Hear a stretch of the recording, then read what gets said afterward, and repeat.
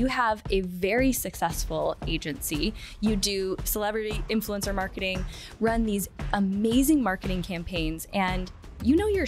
It's what I do. It's what I'm really good at. And I always felt people would judge me for it. I've been successful for a very long time, but I feel so much more confident about it. There's no reason why I shouldn't say it. Is it me being boastful if I really share that I'm the shit? Positioning yourself as the expert, that is what actually makes you stand out more. Say, for example, you were covered in Forbes magazine. Let's just dream for a little bit. You will be. Let's Yeah, get let's you there. Actually, okay, great. what do you think ultimately determines the brands that really take off and those that don't? I'm going to tell you my formula. So oh, I, feel like we're getting like proprietary secrets here. I'm like, go on.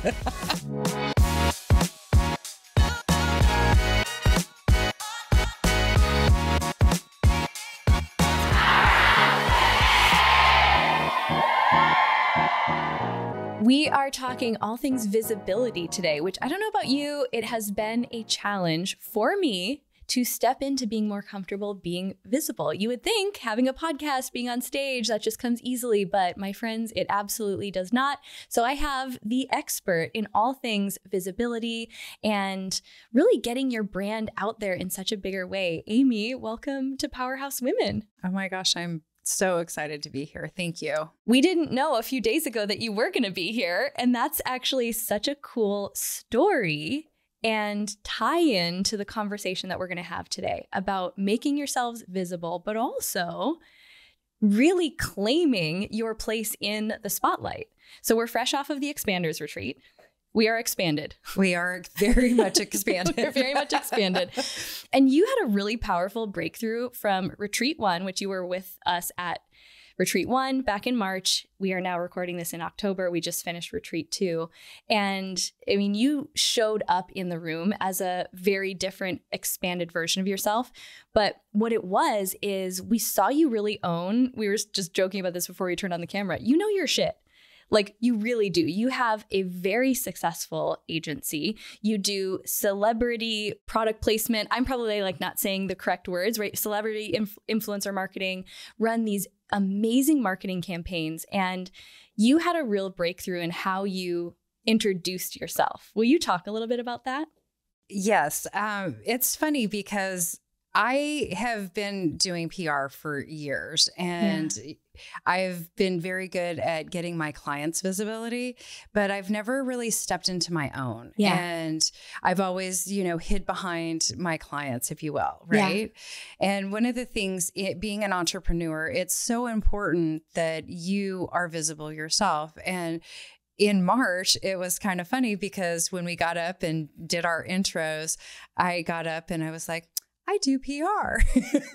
and people are really kind of like, well, what is PR? And I feel like just stepping into that and owning what you do, I feel after the first retreat, and I've had so many people tell me Rebecca Caffiero has been another mentor of mine. And she has also, you know, why aren't you telling people what you do? You Yeah. know, you do this amazing thing. You work with celebrities, you place products on television and movies. Why aren't you talking about this?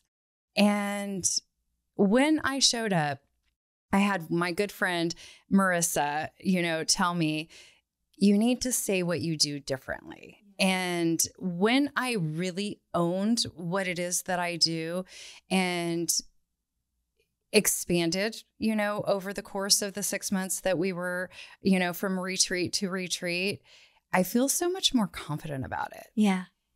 And it's funny because I've been successful for a very long time, but I feel more successful just saying it the way that I say it now. Yeah. Can you tell us how you say it now? Because it is pretty badass. Um, yes. So I'm a PR expert. I specialize in putting brands into the hands and in front of celebrities, featured on TV and in movies, as well as featured in top tier media. yeah. And you've always done that. I've always done it. And it's so relatable. And I think it's actually so beautiful that your personal breakthrough as an entrepreneur has been around allowing yourself to really own your expertise, be willing to be more visible because that's what you help others do. And isn't that so true that oftentimes the breakthrough that we need to have in order to step into our next level of success is the same breakthrough that the people we work with, the people we impact are going to have or need to have. So, what was the change for you? Because we're speaking to an audience of other women who know their shit, who are experts at something that they do, and may not feel as confident as you do now explaining what it is that they do. So, for me, working with celebrities it's not who i am it's it's what i do it's what i'm really good at right yeah and i always felt people would judge me for it I always felt like saying it would be, you know, kind of braggy, if you will. And I feel like the way that I am saying it now, I just feel more confident with it. Mm-hmm. And I'm saying the same thing. I'm just saying it a little bit with more confidence. And yeah. absolutely, you know, being at the Expanders Retreat in March and growing with this wonderful, amazing group of women that you have curated this group of women have helped me come out of my shell and be more visible because I am the expert. Yes, I am the shit, as you said, right? she really is. and I'm really good at what I do. Yeah. And there's no reason why I shouldn't say it. Yeah. And I wanted to start there because one of the things I'd love to have you speak to, you know so many of the women in the Powerhouse Women community I really want to give people tangible next steps if they are struggling with feeling like they have some imposter syndrome around presenting themselves as an expert or having trouble formulating the words and really it's it, it's all PR, right? It's doing PR for ourselves as the founders, the creators of these businesses. So, what has really helped you to break through? And, or maybe I would love if you'd start with what were some of the things that you've had to overcome to step into this more confident version of yourself? And then what advice would you give to an entrepreneur, to one of your clients who's having trouble really owning that? Yeah, I love this question. So for me, stepping into my own, I feel like doing what I do, uh, getting you know clients you know featured in forbes or you know into the hands of like very a-list celebrities. I didn't feel comfortable taking the credit for that. I gave my clients the credit for that because that is what i do right? So i they're paying me to do this for them. So with me stepping into my own expertise and being more confident with it, I feel has brought me a different level of success um, just personally. And being able to talk about what i do with confidence and just be that face of you know pr because people buy you know they sign up because of me. Which is and all true so true for so many of our businesses right? They're right. buying into our belief in ourselves Absolutely. And I, you know, talk about how I can do everything with them you, for them more confidently. But then when I talk about myself, I'm like, more humble and, yeah. you know, a little bit, you know, shy about it. So what I had to break through was being humble about it yeah. and not mm. talking about it you you because everyone yeah. it's funny because some people would be like if i did that i'd be telling everyone yeah. and with me i'm just like well you know um so just being able to more confidently say it and owning what I do because I am the expert. And I think that that was my breakthrough is realizing that I do this really well for people, and there is absolutely no reason why I shouldn't tell people mm-hmm. and I shouldn't step into it more confidently. So, my advice to the community is it's interesting when I work with people that are the expert in their field, really kind of stepping outside of what it is you do right? You had mentioned the other day that you're very comfortable on stage mm-hmm. and you feel like that is, you know, where that's where you feel at home.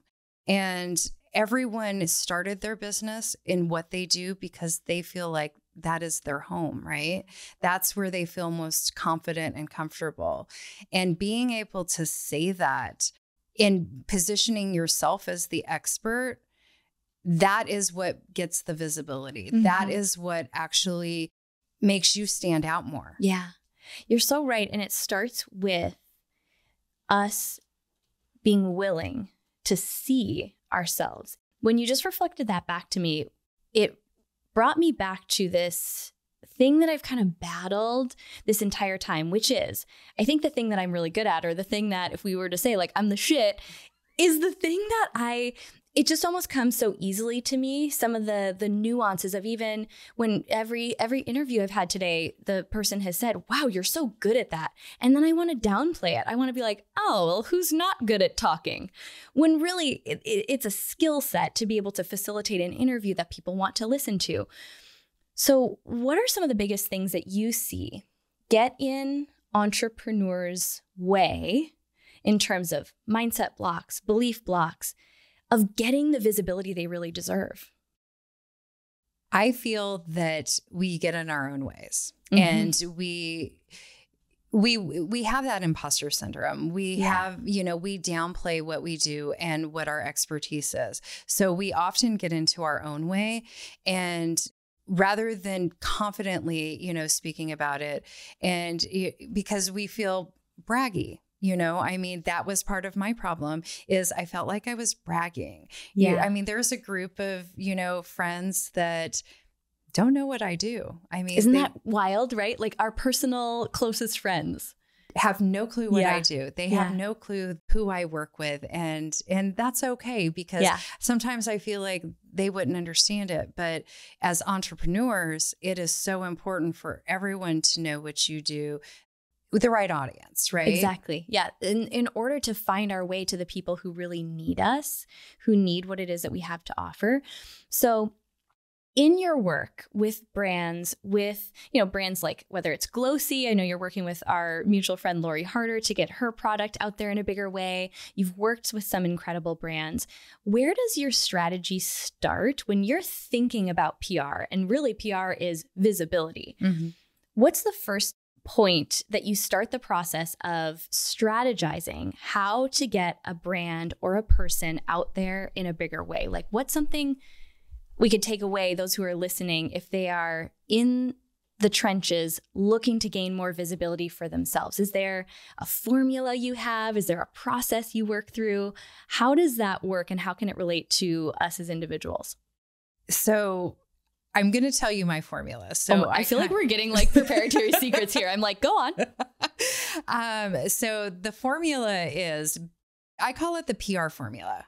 Okay, so it's building brand awareness, gaining visibility to earn credibility. Mm. And if you put that formula together, you naturally will achieve the profitability. So Yeah. that's my formula. But with there's so many different ways for a brand to be visible. So you mentioned Glossy. If you have a product-based brand. So with Glossy or with any other brand, like I I work with baby products, a lot of baby and maternity products. So you take a product like Glossy and uh, what I'm doing with Lori is I'm putting that product into the hands of A-list celebrities as well as back office studios like makeup um, studios for television and movies. When people are sitting at the makeup chair they have you know this buffet bar and having products sit back there. So these a-list celebrities are naturally using it. Oh what's this? Glossy. And they have the opportunity to be introduced to it and drink it. So those are great opportunities to get your brand like really visible with baby products it's great. As a mom, I, I'm a mom of two. And boy, have the baby products changed over the course of my lifetime. I- Yeah. they sure have. Oh my goodness. And I work with a lot of products that change the way parenting is done. And so it really is exciting that I can help these, you know, women that are pregnant having babies. Pregnancy is not comfortable. I mean, it it can be the hardest thing. And I I work with a client that has um, pregnancy pillows to make you to help you sleep better. So being able to gift celebrities these products, you know, is really lights me up because Yeah. I feel like that gives you the opportunity to get that product, you know, seen and known by, you know, certain people. So that's one element of the PR strategy. Mhm. And it really is more of an organic element uh, because I do see that they often will, you know, place reorders and stuff like that for different products that we've put into their hands. But, you know, then there's the element of the actual media, you know, Forbes and Insider and yeah. all of that. Yeah. So what I'm almost hearing too is like the smaller scale version of this for someone who doesn't have the contact list that you have and maybe they don't have the budget to hire an agency like yours who's operating at that level would be, you know, if you think about what is a celebrity? It's just the person that people are paying attention to what they're doing. So that's more, and I know you also work in influencer marketing. How could someone maybe think about this on the smaller scale when they're just starting out? because I think we forget that we do have access to people. We can slide into someone's DMs and just say, hey, you know, I love what you're about. I would love to send you a product. Do you have any advice for how to do that in an effective way if someone's kind of working on more of a DIY budget and they don't have access to those celebrity green rooms? Yes, absolutely. There's a website called IMDb. Yes. Yes, and that has that's a website that you can look up and it's also an app so you can look up, you know, different celebrities or you know, if they're high-level influencers and you know, see how to contact them. So usually you want to reach out to their PR person. Uh, but you can also Google it. I mean, Google is such an amazing tool, and Instagram as well. A lot Yeah. of celebrities or influencers, like you said, because influencers are key too. They really have changed the way. Well, it's funny. I have been doing influencer marketing before the phrase was even coined. Yes. I know Um, you really are an OG. I am an OG and I feel like I should be getting royalties from it. but uh, influencer marketing, I mean, has really changed the way that people market their products. And by sliding into their DMs and, you know, sending a message to them, often influencers will actually have their email address on their um, Instagram handle. Mm. Especially if that's something that is a part of their Mhm. brand strategy and they're open to different collaborations. Yeah, that's so true. Absolutely. So, and Google is a great resource when you're looking for people's emails or, you know, how to, to contact them. Google is, yeah, that's like gold. I mean, quite literally, the secret to being an entrepreneur is just to know how to Google things and be willing to just Google so many different versions of the same question. Isn't that so true? So true. Yeah. So true. And the quotes and all, of, yeah, whatever your Google search is, yes, that's what you need to do. So you mentioned you were doing influencer marketing before that was even a thing, before the world knew what that was. What led you to the world of PR? What had you want to start this as a business? I don't think I've actually heard your backstory behind that. So I've done sales and marketing for years, and I was actually in medical sales before I had kids. I have a 17 and an 11 year old. And I thought when I was pregnant with my 17 year old, I'm going to work and I'm not going to quit my job. I'm not going to be a stay at home mom. Um, I, you know, I'm just this career woman. Well, that all changes as soon as you have kids. You're like, no, I, I, I want to be with my baby. So I quit my medical sales job because I was gone from six to six. And my baby, that's what time my baby woke up was 6 a.m. and went to bed at 6 p.m. So I literally never saw my baby.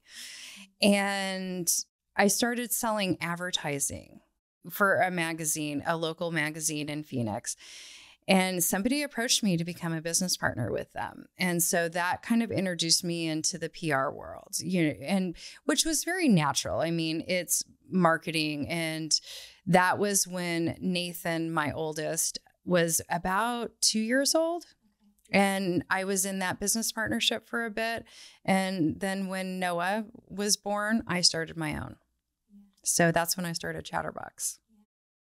And how has the growth of the company paralleled your journey as a mom? I don't know why I feel inspired to ask this, but I know that both are so important to you. And how have those two journeys, raising a business baby and raising two beautiful boys, now young men, what did that journey look like? You know, at first it was um it was a lot, you know. I mean, I still had that work life balance. And when I went out on my own, I, I became very well known. I had dissolved my partnership. So I became very well known very quickly. So, you know, starting my own was just a natural fit for me. And I, you know, immediately had, you know, a lot of people that followed me. So I was then married. So I had the support of you know, my husband at the time. So I had his support. So doing that work life balance was, you know, really easy for me.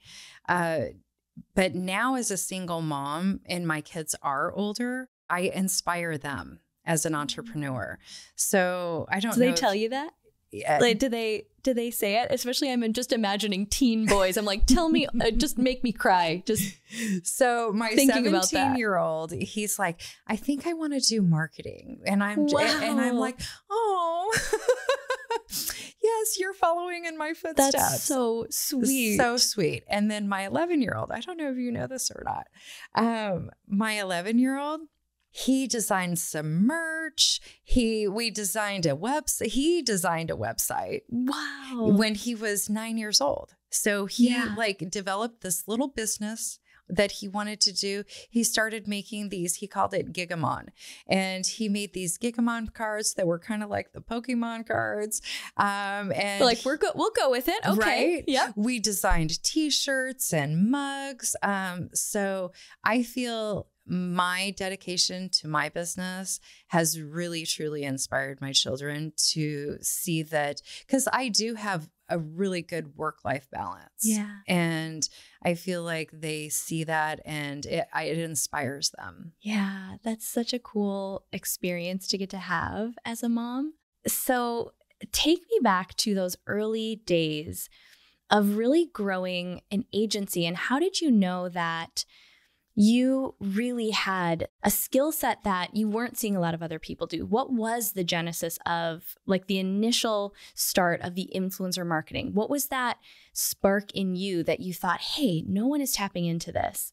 And I think there's something here. So it's funny you asked me this question because it was really just natural for me. Yeah. I working in the baby product, you know, world and seeing these moms that, you know, are pregnant because they are just like us. Mm-hmm. And, you know, I I felt that they needed these products. You know, it would make their lives easier, uh, you know, as new moms. And so that was how I naturally just started reaching out to them and sending them products and then I just became, you know, the go-to person for yeah. It. Was this in the days of was Instagram the big platform at this time? Facebook. Where people mostly I was gonna say because Instagram to me even didn't become as big a part of my life until more recently when I was building my first business, it was, it was Facebook. Mm-hmm. Yeah. So way back then. Yeah. Wow. So what makes the most effective influencer marketing campaign? What are some of the elements that you see when you see it done really well and when you see it done, obviously not by your firm, but not done so well? really, I think um, the strategy today is those nano influencers is mm-hmm. having you know smaller people especially if you're looking if you're a newer brand yeah and you're looking to really you know launch into that i mean because if you think about it everything is at everybody's fingertips right yeah. now. So, you know, just getting these visuals. So, for a newer startup, you could definitely gift some of these nano influencers in exchange for a post. I would recommend, you know, making sure that you get that, you know, some sort of agreement, you know, right, in, in writing. Place. Right. Yes, clear expectations. Yes, absolute mm-hmm. clear expectation. But also, you know, reaching out. I mean, you're an influencer I, I mean, and I, I not influencer marketing, but you are an influential Mhm, person mhm. that people are interested and people look to see what you're doing and stuff. So take a look at your audience and who your target audience is and look for those people that, you know, if you were to gift them organically, if you do gift people, you know, organically Mhm.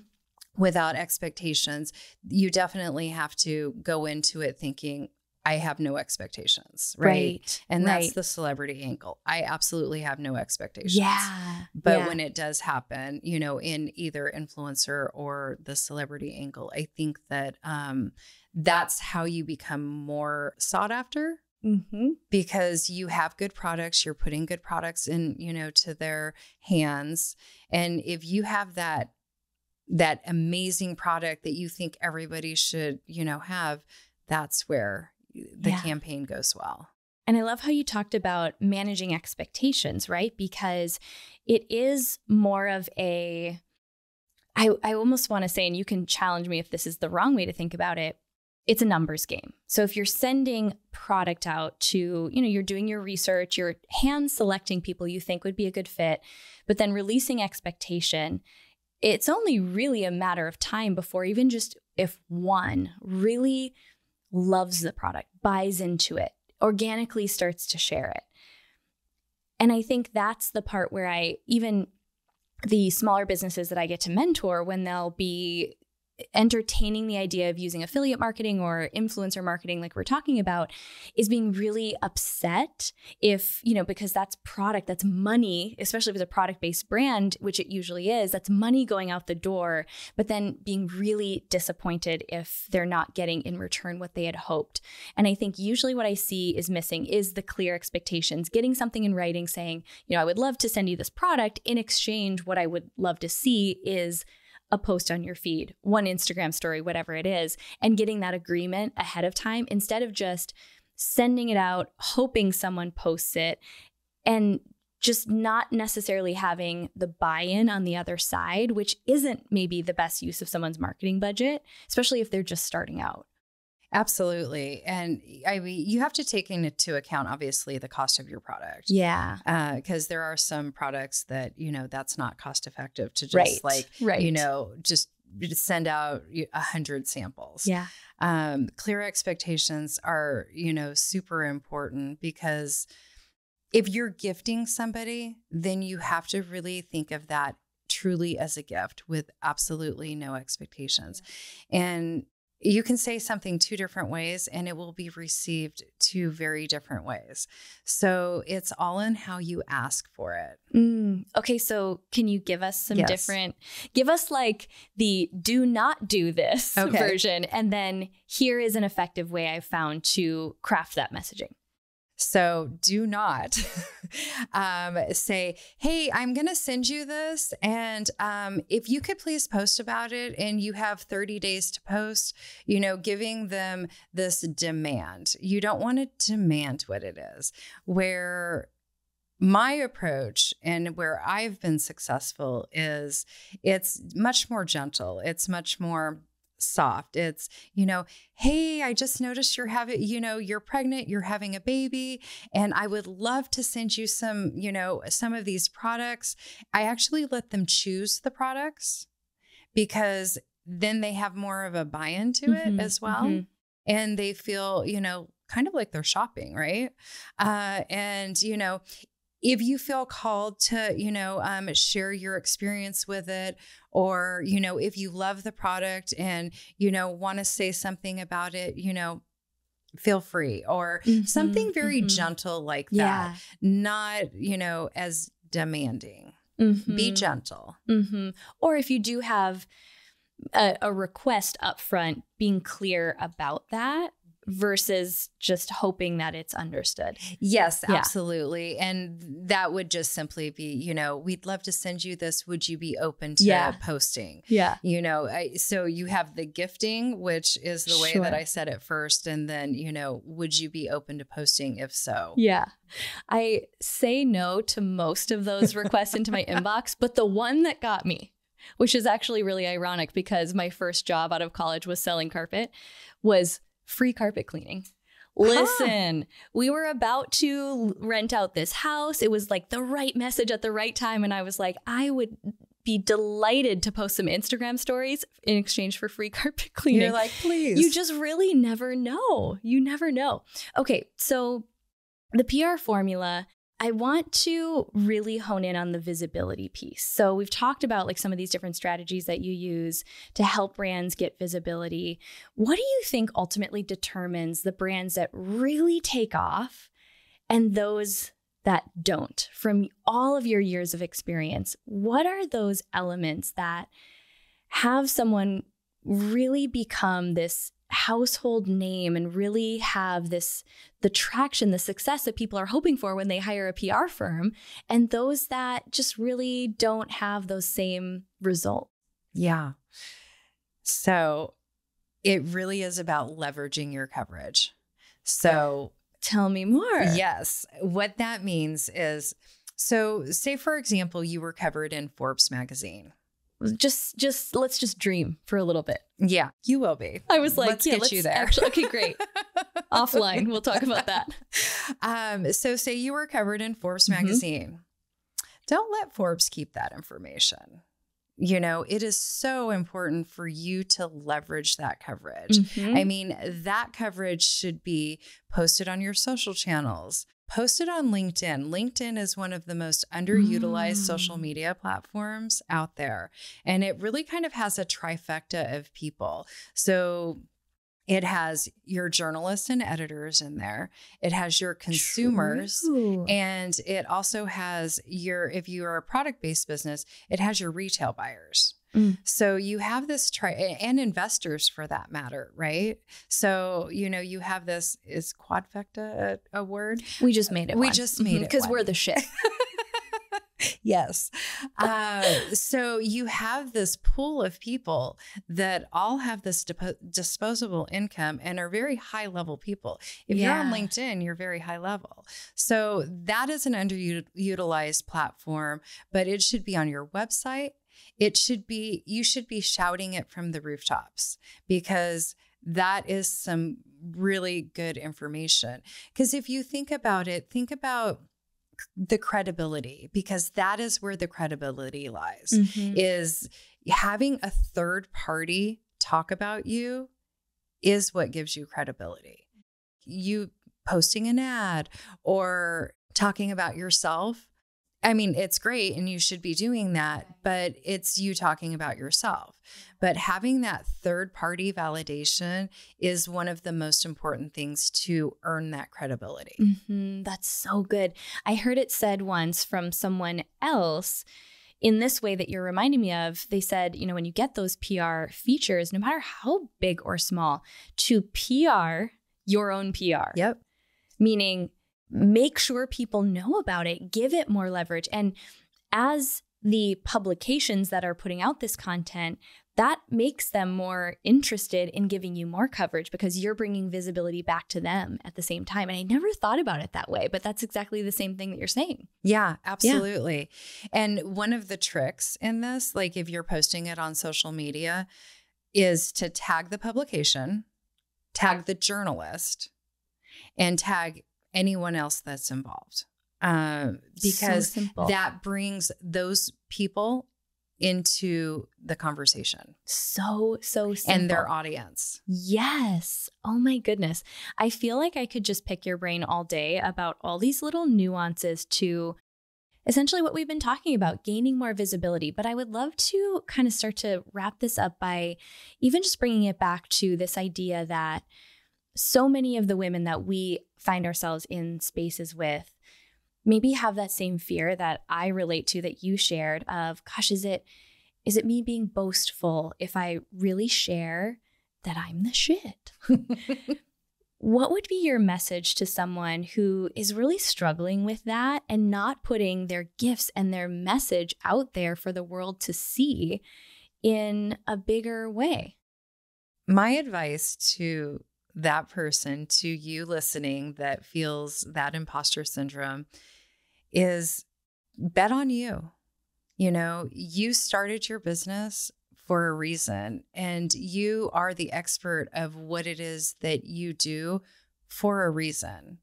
And by standing proud and saying it with confidence, as scary as that seems, as scary as that sounds, that is what will resonate with people. And mm-hmm. that's what will have people hire you. And if people don't know that you're the shit, they're gonna what it, what is it that Jen Gottlieb always says? It's like they're gonna go hire someone else who doesn't care as much as you, or maybe doesn't have the same skill set as you, and that always stuck with me. I love know? that. Yeah. I, yeah. I totally butchered it. She says it in such a more eloquent way.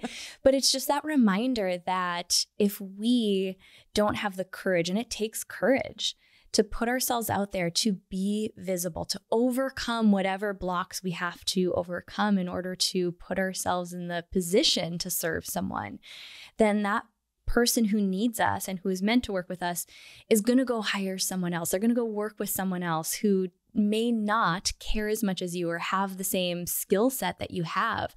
And when I bring it to that back to the impact piece for me, that's ultimately what does drive me. It's what gets me out of my own way to show up in front of cameras and these lights and, you know, in this podcast studio. But I think it's also important for people to know that people like you and me, we do still have some of that fear to overcome as well. Yeah, absolutely. And yeah. I feel like you know, we do get into our own heads. And yeah. I self care, you know, different modalities of self care has helped me overcome that. Mm. Breath work and just, you know, some of the people in our world. So that's yeah. huge too. And your business besties. You know, if it weren't for my business besties, then, you know, the group that, you know, the whole community that um, we've cultivated. Yeah. Look to them to help you with this mm. because they will. They're your biggest cheerleaders. Yeah. Oh, that's so well said. It's like the power of other women hyping each other up. Borrow that belief from your girlfriends it, until you have it in yourself that's probably where the most the majority of mine comes from too. Yeah. Yeah. Okay, so for people who want to learn more about how to work with your agency specifically, work with Chatterbox, what's the best way to connect with you as the face of the brand, to connect with the brand in order to find out just the different ways that they can get their brand out there in a bigger way through all of the beautiful work that you're doing?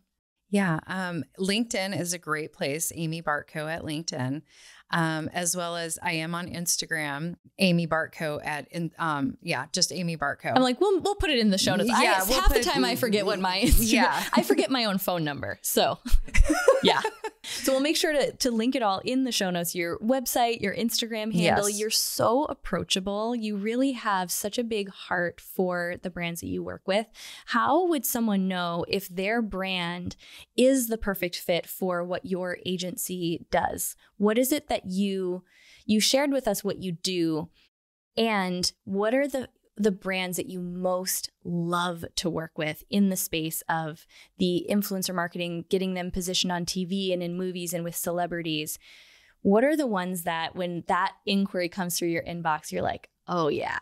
Yeah, I want that. Um, I feel like definitely you know fashion brands so i'm talking to a, this resort luxury resort brand um, which is cool. so fun and incredible um, so you know those type of brands that are that really are ready to level up and mm-hmm. you know really ready to be seen and have that uh, you know have that desire to be seen yeah i feel like those are the brands as well as some fun service based brands like our friend ali you know um, this, i love what you know the beauty industry as well. Yeah, amazing. So, the last question is really more of a personal one, and it's an opportunity for you and for all of us who are vicariously living this question through you to just acknowledge yourself for something. And you have. I've gotten a little bit of a front row seat to the growth you've had over the last six months at least,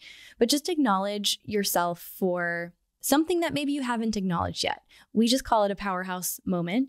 But when I ask you what's a recent powerhouse moment that you want to celebrate publicly, give yourself some visibility and be like, yes, I'm the shit. What, that's just what we're going to call this episode, by the way. I'm the shit. Is what's the first thing that comes to mind that you want to celebrate with us? I want to celebrate the fact that I bet on myself and I have invested in myself and chosen to put myself in rooms that may have made me feel a little bit more uncomfortable, you know, um, 12 months ago, Amy. Uh, but, you know, today I feel like I belong in those rooms and I'm so honored to be in there. So, mm. yeah, that's what I'm celebrating. I'm really proud of you for that because that you. is it's a big deal and I've gotten to see the transformation right in front of my eyes and it reminds me of the power of stepping into those rooms that kind of make me want to puke but also to realize that that's probably because there's some massive growth for me inside. Yes, yeah. absolutely. Bet on yourself. If you can do anything, you know, any listener, bet on yourself because you've got this. Thank you so much for being here. Thank you for having